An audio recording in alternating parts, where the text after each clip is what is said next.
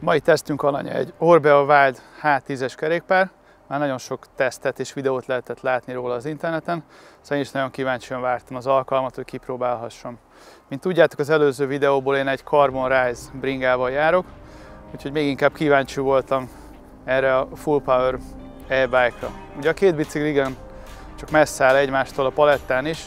Az enyém egy trail bike, 18,5 kg ez egy Super Enduro geometriával rendelkező full power e-bike 25 kg-val.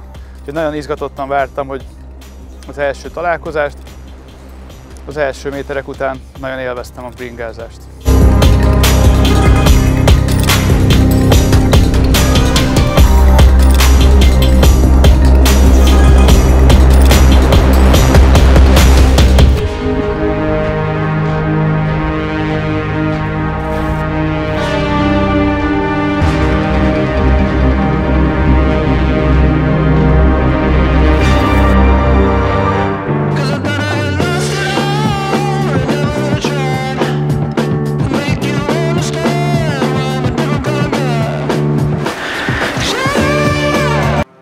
Kerékpár hozzám került, egyből feltűnt újra, hogy mennyire jó színeket sikerült választani az Orbeának.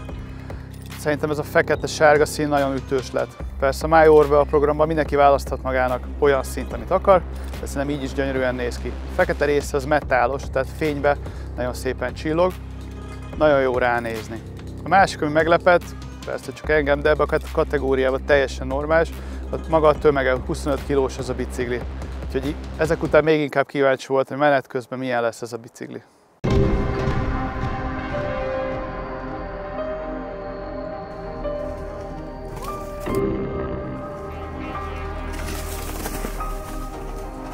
Ebbe a vázba Boschnak a Performance Line CX motorja került, 85 Nm-es csúcs teljesítménnyel, amit nagyon szépen, nagyon finoman, lineárisan ad le.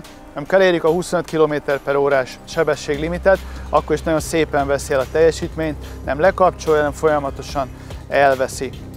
Nagyon élvezetes vele a kerékpározás, főleg azért, mert ennyire lineáris a mozgása, fölfeléken nagyon, nekem nagy segítség a meredek részeken. A teljesítményt négy fokozatban tudjuk állítani, amit a vázon lévő kijelzőn tudtok követni. Itt színekben mutatja az Orbea magához híven, ugye? Zöld szín a leggyengébb, és innen megyünk fölfele, kék, lila és piros színekkel jelöli. Kijelzőn még követhetjük a akkumulátorunknak a töltöttségét.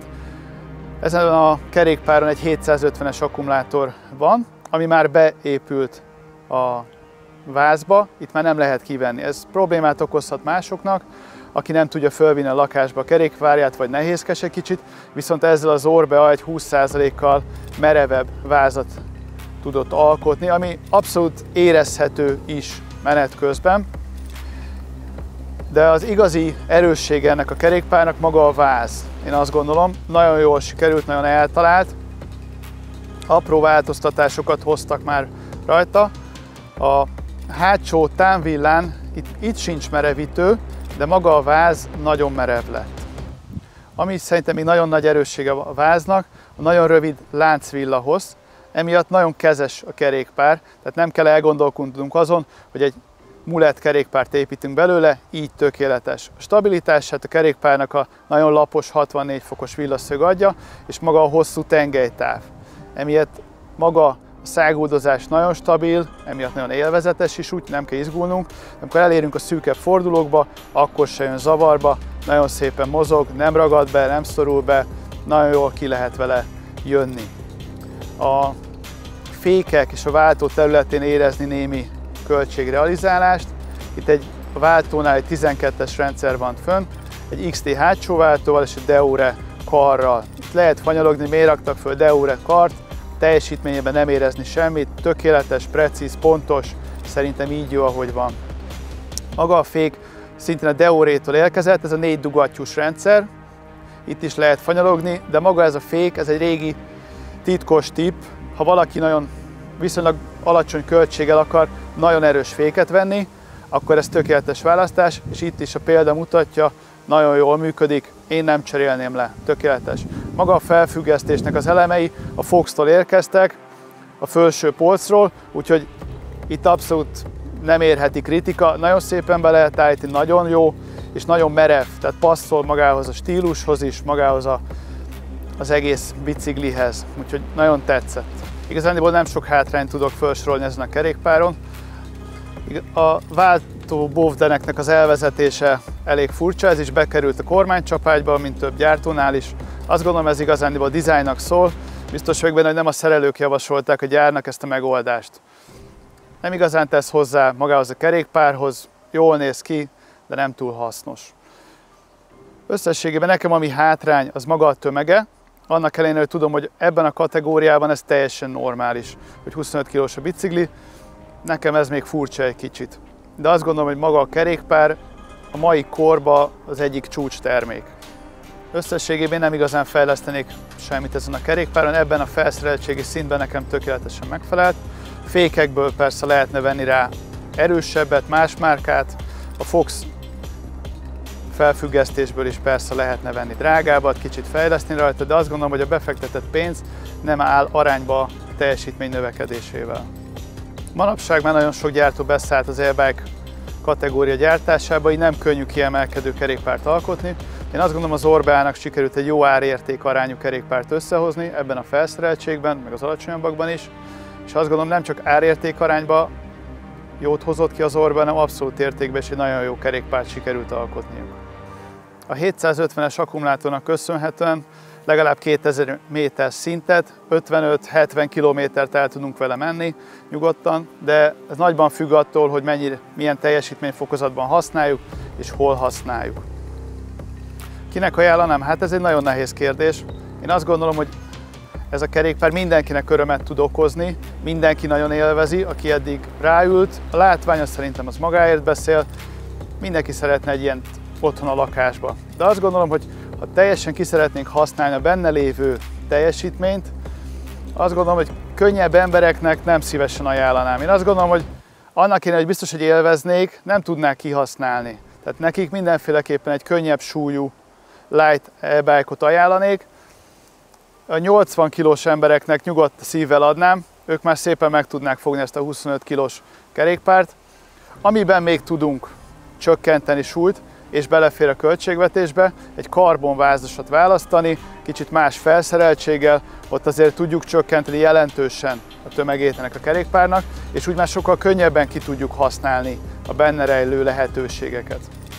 Összegezve az egész tesztnek a tapasztalatait, igazából teljesen igaza volt minden tesztelőnek, nagyon jó a bicikli, nagyon élvezetesen lehet vele kerékpározni, Megmondom őszintén, én is ugye én a könnyebb bicikliknek vagyok a híve, mindig, mindig is azokat szerettem, az e is, de erősen elgondolkoztatott, hogy erre lehet, hogy elcserélném. Annyira nagy élmény volt vele fölfelé is, a lefelét élményét se rontott el, sőt, valamikor még hozzá is tett. Nyilván figyelni kell a tömegére, de azt gondolom, nagyon elbizonytalanodtam ebben a témában, és ez a vágynak köszönhet, és a képességeinek.